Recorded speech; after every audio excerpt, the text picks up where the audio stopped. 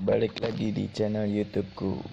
Kemarin ada yang tanya, bisa nggak alat cat pen zoom itu dipakein spray gun kompresor yang seperti ini nih. Ini baru aku beli kemarin. Mereknya ProQuip.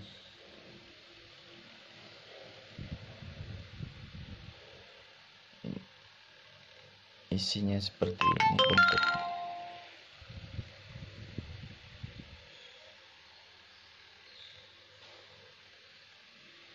Nah bentuknya kayak gini. Pakai tabung atas. Oke langsung aja ya. Ini aku pakai pipa pralon ukuran 1 in sama tutupnya. Terus bekas pentil motor ban motor. Nah ini kita lubangin tutup pipa ini. Seperti ini. Terus kita masukin pentil ban motor ini. Ini untuk sambungan selang pen zoom itu ya.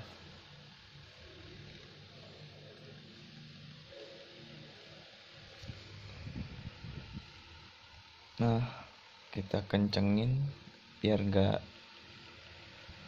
bocor.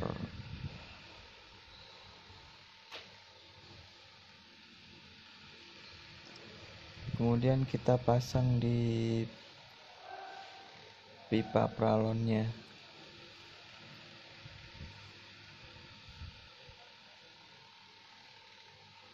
Terus kita pakai selang.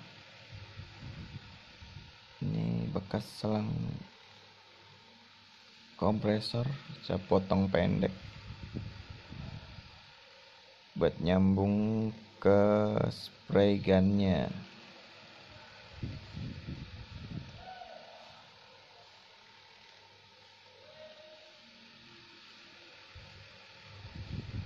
ya kurang lebihnya seperti ini.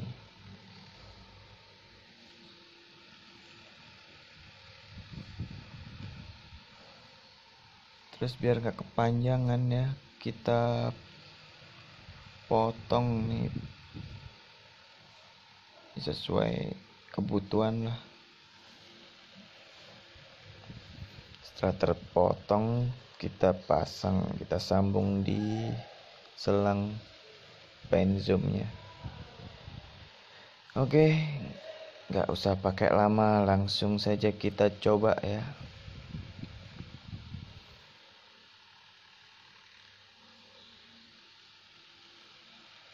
Kita pasang dulu ini sambungannya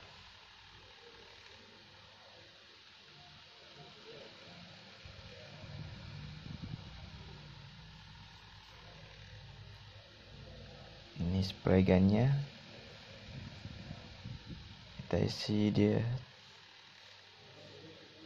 Ini aku pakai cat warna silver. Abu-abu silver agak kehitaman gitu dah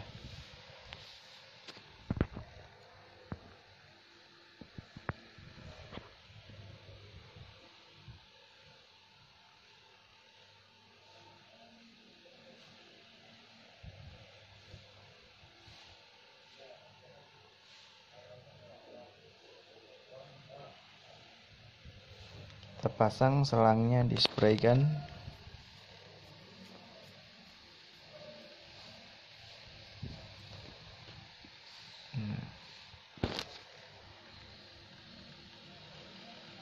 aku coba semprot di triplek ini ya biar kelihatan. Oke kita nyalain mesinnya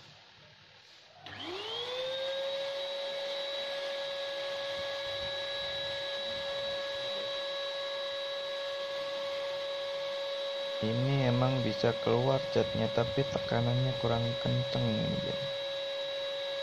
kalau cuma buat ngecat ngecat biasa sih bisa tapi kalau buat ngecat bodi motor atau apa pokoknya yang di motor-motor gitu nggak direkomendasikan deh soalnya hasilnya kurang lembut bintik-bintik gitu. Seperti ini. Jadi intinya kurang kencang tekanannya itu. Beda dengan kompresor asli yang anginnya itu kencang banget. Oke seperti itulah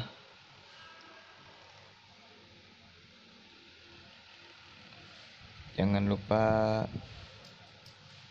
like dan subscribe ya